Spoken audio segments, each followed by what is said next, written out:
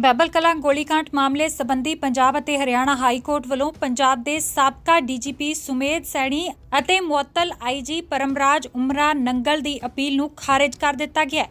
ਇਹਨਾਂ ਦੋਨਾਂ ਵੱਲੋਂ ਹਾਈ ਕੋਰਟ ਨੂੰ ਇਸ ਮਾਮਲੇ ਦੀ ਸਮੇਂ ਤੋਂ ਪਹਿਲਾਂ ਸੁਣਵਾਈ ਕਰਨ ਦੀ ਅਪੀਲ ਕੀਤੀ ਗਈ ਸੀ। ਇਸ ਮਾਮਲੇ ਦੀ ਸੁਣਵਾਈ ਦੇ ਲਈ ਮੁਅੱਤਲੀ ਦੀ ਅਰਜ਼ੀ ਪਹਿਲਾਂ ਹੀ ਖਾਰਜ ਕਰ ਦਿੱਤੀ ਗਈ ਹੈ। ਇਸ ਮਾਮਲੇ ਦੀ ਪੈਰਵੀ special prosecutor senior advocate R S Bains ਵੱਲੋਂ ਕੀਤੀ ਜਾ ਰਹੀ ਹੈ। ਹੁਣ ਇਸ ਮਾਮਲੇ ਦੀ ਸੁਣਵਾਈ ਹੇਠਲੀ ਅਦਾਲਤ ਦੇ ਵਿੱਚ ਜਾਰੀ ਰਹੇਗੀ। ਹਾਈ ਕੋਰਟ ਦੇ ਵਿੱਚ ਮਾਮਲੇ ਦੀ ਸੁਣਵਾਈ ਪਹਿਲਾਂ ਤੋਂ ਹੀ ਤੈਅ ਹੋ ਚੁੱਕੀ ਹੈ, ਜੋ ਕਿ 2 ਦਸੰਬਰ ਨੂੰ ਹੋਵੇਗੀ।